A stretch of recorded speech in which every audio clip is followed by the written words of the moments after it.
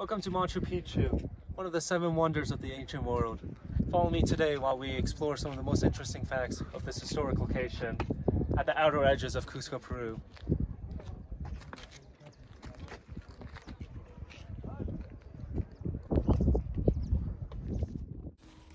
Ah, Machu Picchu, a fortress built into the mountains themselves.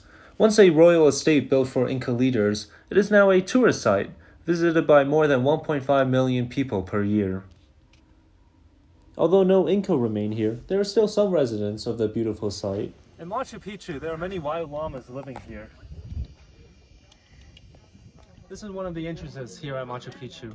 Check out the precise fittings of the rocks. These walls were built using a technique called ashlar. The Incas would cut slabs from large white granite rocks and carve them to exactly the right shapes where they could stack the slabs without the use of mortar or clay. Let's enter one of the houses here.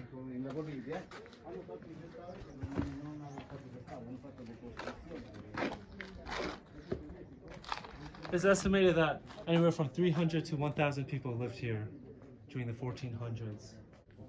Machu Picchu wasn't discovered until 1911. Wear and tear has taken control with hundreds of years of abandonment, but restoration projects such as this house has given a second life to the site. From taking the train up the mountains, to meeting the locals preserving the site, to marveling at the construction abilities of ancient civilizations, Machu Picchu and its secrets can help cleanse the soul in a modern day of constant doing.